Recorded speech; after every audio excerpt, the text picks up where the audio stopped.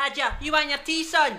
No, Mom, shut the door. We're kidding on alive in the bedroom. Where's that crowd sample? 112, okay, Fantasia. You see back with the same old crap.